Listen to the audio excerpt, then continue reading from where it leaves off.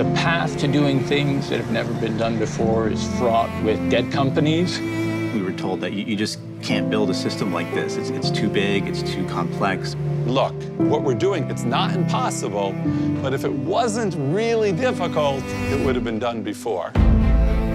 Jonathan's companies are started from a desire to touch the lives of those he loves and those around us. So it's not an optional thing. I didn't start the company and say, we're optionally going to make an imaging device. I started it because my daughter has growths in her kidney, and we had to be able to look at them and monitor them without driving to Boston every day. The problem is that we discovered that ultrasound hasn't really changed in over 50 years. So you'll see immediately you have a laptop weighing about 20 pounds. You then have three different transducers. They each cost $8,000. Why don't we use modern computing technology to fundamentally change how we image the body? We put everything that's in that probe, that's in that cart, all on a semiconductor chip. Once you put something on a chip, you can make it in massive quantities at super low cost. And no one had ever done this before. It's a $2,000 ultrasound machine that can do all of the things that a $50,000 ultrasound machine can do. This is a device that you just plug it in, ask me if I want to scan, and then right then and there, I can be scanning. So not only did we put an ultrasound on a, on a chip, but we added some smart software and some artificial intelligence. So we work with a, a smartphone, whether Android or Apple, so anybody can use it. We want to take medical imaging and put it in the hands of as many people as possible. So now, right now, there are about 40 million people around the globe who are in the healthcare profession.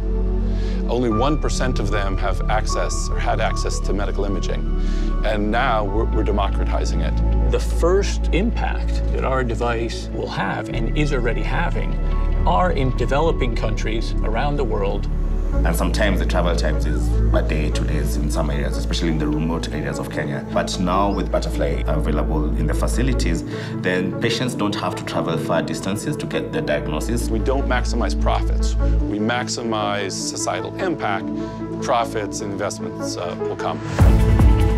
The real adrenaline rush, the thing that keeps us moving and pushing every day to do impossible things, is connecting with our clients, connecting with the physicians, and seeing the impact in the field. Got a, a message from one of our doctors saying, you know, I saved someone's life with this today. And that was a really important moment for me. I was kind of paralyzed in my seat. It's like I'd been working on this all of these years, and this was the moment uh, someone is alive today because I did this, and they wouldn't have been if I hadn't. And, and that, to me, is the biggest motivation. This is a perfect example of disruptive technology always seems to be before its time, and that traditional thinking really doesn't apply when you're wanting to do something that's never been done before. And so we did stuff that other people thought was unreasonable. And uh, as you know, you know, all progress is made by the unreasonable person.